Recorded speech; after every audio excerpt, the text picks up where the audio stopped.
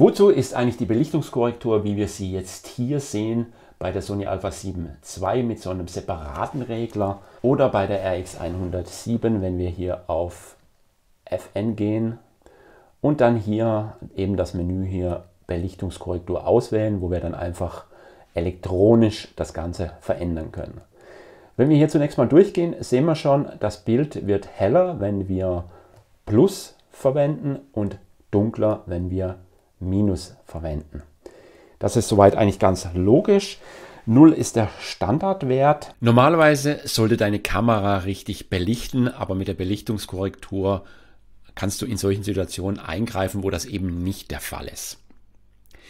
Ich selbst habe meistens minus 0,3, habe also ein bisschen dunkler belichtet, denn es ist generell so, dass du auch in der Nachbearbeitung eher dunkle Flächen heller bekommst, als aus hellen, überbelichteten Flächen da noch irgendwelche Details rausarbeiten kannst.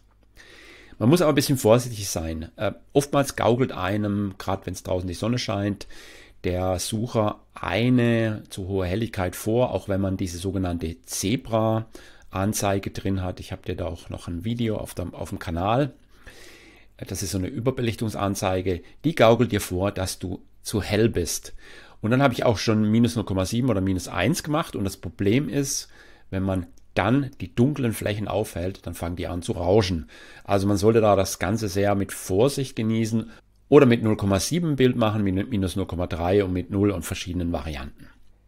Die Situation, dass ich den Belichtungsregler nach oben stellen musste, die hatte ich eigentlich relativ selten, außer ich habe falsche Kameraeinstellungen, dass ich also quasi zu eine zu kurze Verschlusszeit habe. Und da ist es halt so, wenn ich das dann aufdrehe, dann passiert das quasi auch ähnlich wie in der Nachbearbeitung, dass dann die Flächen auch rauschen können.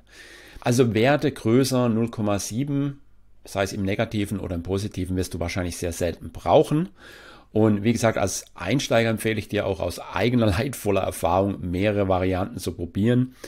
Denn teilweise gerade bei kleinen Kameras mit kleinen Sensoren wie der RX100 ist es schnell so, dass wenn du dann die dunklen Flächen zu sehr aufhältst, dass es dann rauscht. Für weitere Kameraeinstellungen schau dir auch das nächste Video an.